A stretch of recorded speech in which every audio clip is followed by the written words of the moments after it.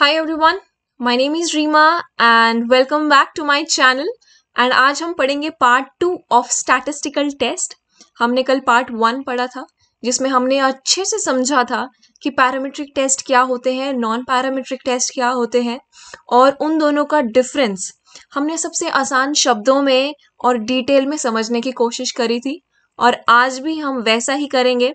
हम types of parametric test जो होते हैं T test G test F test ANOVA similarly हम इनको भी सबसे आसान शब्दों में पढ़ने की कोशिश करेंगे और मैं उम्मीद करती हूँ इस वीडियो के एंड तक आप इन सब के करेक्टरिस्टिक्स को अच्छे से समझ समझ पाएँगे और एक टेस्ट को दूसरे टेस्ट से डिफ्रेंशिएट भी कर पाएँगे। So without any further delay let's begin okay what is T test it was published in the year 1905 by Gossett. Okay, it was published in 1905 by Gossett. And इसका एक और नाम है which is called students distribution students t distribution ठीक है आपको ये नाम याद करना है हो सकता है कि आपको ये एग्ज़ाम में पूछा जाए ये टेस्ट वहाँ एप्लीकेबल होगा जहाँ आपका sample size is less than thirty small sample size ठीक है? Where sample size is less than thirty या स्मॉल जब आपको पूछा जाए कि स्मॉल सैंपल साइज़ का कितना साइज़ होता है तो आपने बताना it is less than thirty okay since it is a type of parametric test that is why it is normally distributed okay that is why it is normally distributed तो ये normally distributed data क्या होता है? When the data is in bell shaped curve which means data is in symmetry कोई asymmetry नहीं है। हमने पिछली वीडियो में डिटेल में पढ़ा था ये सारा कॉन्सेप्ट अगर आपने नहीं देखी अभी तक I will be providing the link in the description box and I will insist to watch that video before it is a very short video won't take much of your time watch that video and then watch this one okay since it is a type of parametric test that is why it is normally distributed and very important the population variance is unknown what is variance it is the square of standard deviation हमें ये नहीं पता T test में हमें ये नहीं पता and since हमें वेरिएंस नहीं पता इस वजह से हम मीन कंपेयर करते हैं ठीक है? We measure mean of two samples of one population जैसे देखिए, ये आपकी एक पॉपुलेशन है। इसके हमने दो सैंपल्स को कंपेयर करना है। इनका क्या? मीन कंपेयर करना है। जब हमने एक पॉपुलेशन के दो सैंपल्स का मीन कंपेयर करना हो वी फॉलो टी टेस्ट ठीक है? It can either be one tailed test और टू टेल टेस्ट अब वन टेल टेस्ट क्या होता है? हम हाइपोथेसिस में पढ़ते हैं, एक नल हाइपोथेसिस होता है, एक ऑल्टरनेट हाइपोथेसिस होता है।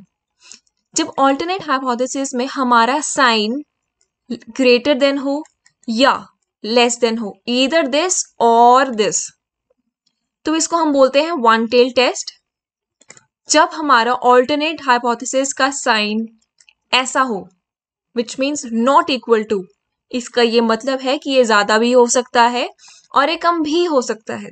That is called as two tail test तो this can either be one tail test और टू टेल टेस्ट तो टी टेस्ट किसने दिया था? It was given by Gosset कि वहाँ फॉलो होता है जब हमारा sample size is less than thirty data is normally distributed because it is a parametric test population का वेरिएंस हमें नहीं पता।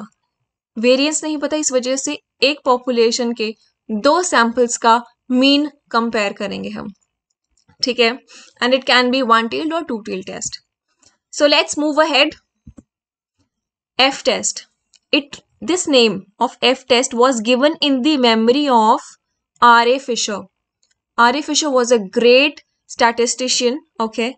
इनकी मेमोरी में एफ़ टेस्ट का नाम दिया गया अब इसकी सिमिलैरिटी है टी टेस्ट से कि वहाँ भी हमारा सैंपल साइज़ स्मॉल होगा, यहाँ भी स्मॉल होगा which means it is again less than thirty तो जब आपसे पूछा जाए less than thirty sample size में कौन सा टेस्ट फॉलो होगा तो आपके माइंड में दो नाम आने चाहिए इधर टी टेस्ट और एफ़ टेस्ट अब इनका डिफरेंस कहाँ होता है, वो हम आगे पढ़ेंगे.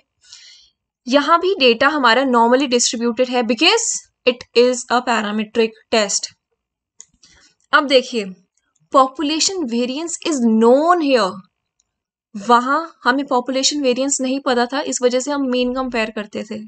यहाँ हमें पॉपुलेशन का वेरिएंस पता है, इस वजह से हम वेरिएंस को ही कंपेयर करेंगे। एक पॉपुलेशन के दो सैंपल्स का वेरिएंस कंपेयर करेंगे, जब आप तो एफ़ टेस्ट फॉलो होगा। Similarly it can be the one tailed और टू टेल्ड टेस्ट ये हमने पढ़ा है कैसे? ठीक है? यहाँ पे जो हमारी ऑब्जर्वेशन होती हैं, ये भी एक पॉइंट है डिफ्रेंसिएशन का। यहाँ पे जितनी ऑब्जर्वेशन होंगी, वो इंडिपेंडेंट होंगी। मतलब कोई एक ऑब्जर्वेशन दूसरी ऑब्जर्वेशन पे डिपेंड नहीं करेगी। अलग से होगी। ठीक है? इसका एक फॉर्मूला है। Variance of first data set divided by variance of second data set which is like this variance का फॉर्मूला ये होता है variance of first data is this variance of second data ये आपका फॉर्मूला होगा एफ़ टेस्ट का.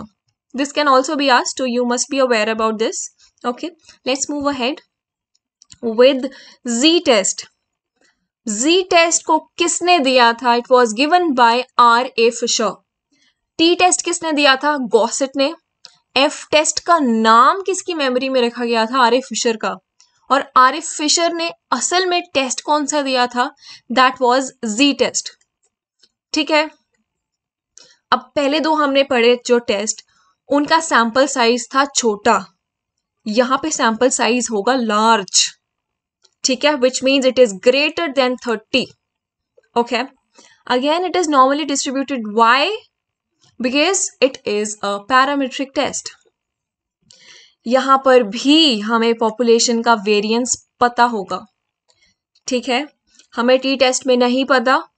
हमें F test में पता है और हमें जी टेस्ट में भी पता है पॉपुलेशन का वेरिएंस जी टेस्ट के दो और नए नाम हैं, आपको पता होने चाहिए which is either Z transformation test और Z स्कोर टेस्ट हम Z भी बोल सकते हैं, हम इसको Z भी बोल सकते हैं which is suitable to you okay the observation are independent है ये हमने कैरेक्टरिस्टिक कौन से टेस्ट में पढ़ी? एफ़ टेस्ट में, ठीक है?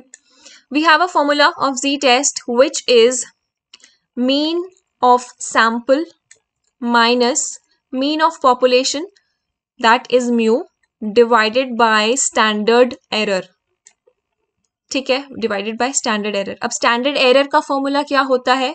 Standard errors errors formula is standard deviation divided by under root N so, this is the formula and again you have to learn it. This can also be asked. I hope यहाँ तक clear है. Last है, बचा है हमारा test which is ANOVA ANOVA भी हमें R A Fisher ने दिया था. In which year? In the year of 1920. It was again given by R.A. Fisher. Data is normally distributed. Why? Because it is a parametric test. Okay, now it is an extension of t-test. वो कैसे हमें पता है हमने पढ़ा test में एक population के हम दो सैंपल्स का मीन कंपेयर करते हैं हमने यही पढ़ा ना अब अनोवा कैसे एक्सटेंशन है यहाँ पे हम एक पॉपुलेशन के दो से ज़्यादा सैंपल्स का मीन कंपेयर करेंगे। That is why it is an extension और या तो एक पॉपुलेशन का बहुत ज़्यादा सैंपल्स कंपेयर करेंगे दो से ज़्यादा, या एक से ज़्यादा पॉपुलेशन को कंपेयर करेंगे। That is why it is an extension of T test see look या it measures the mean of more than two samples of one population or it measures mean of more than two population ठीक है यहां पे our sample variance is equals to population variance जो sample का variance होगा it will be equal to population variance alright you have to learn it And the observations here are independent ये characteristic T test में नहीं थी, लेकिन ये F test में है, ये जी टेस्ट में है और ये अनोवा में है। जो कैरेक्टरिस्टिक्स है सॉरी जो ऑब्जर्वेशन है हमारी, वो इंडिपेंडेंट होंगी, एक दूसरे पे डिपेंड नहीं करेंगी। ठीक है आई होप आपको ये चारों टेस्ट बहुत अच्छे से समझ आए हैं। और अगर अभी भी नहीं समझ आया, हम एक क्विक रिविजन लेते हैं और होपफुली सारे कॉन्सेप्ट्स अच्छे से आपको याद हो जाएँ अभी within two minutes okay when we have small sample size तो आपके माइंड में कौन से टेस्ट आने चाहिए? इधर टी टेस्ट और एफ़ टेस्ट ठीक है? Now look another characteristic population variance is unknown हमें नहीं पता which means we are comparing mean of two samples ये कौन सा टेस्ट होता है? It is T test again small sample size and population variance is known which means we are comparing variance of two samples यहाँ कौन सा test follow होता है एफ टेस्ट ठीक है now the sample size has increased it is a large sample size which means it is greater than 30 and the population variance is known and we compare mean of two samples यहाँ कौन सा test होता है? When the pop when sample size is large G test now when we have to compare the mean of more than two samples of one population और more than one population ये extension है हमारी T test की। इस test का नाम है ANOVA I hope आपको ये चारों टेस्ट जो कि पैरामीट्रिक टेस्ट के टाइप्स हैं आपको अच्छे से समझ आए हैं, इनके कैरेक्टरिस्टिक्स क्लियर हैं और आप एक टेस्ट को दूसरे टेस्ट से डिफ्रेंशिएट कर सकते हैं। अगर आपको लगता है आपने कुछ नया सीखा है, कुछ अच्छा सीखा है then do like my video do share it with your friends who are preparing for U G C NET exam और are aspiring to do research in future और अगर आपको लगता है कोई कैरेक्टरिस्टिक मुझसे मिस हुई है प्लीज़ उसको कमेंट सेक्शन में लिखिए। हम सब वहाँ से पढ़ेंगे और उनको भी याद करेंगे, समझने की कोशिश करेंगे। And keep spreading knowledge thank you so much have a good day bye bye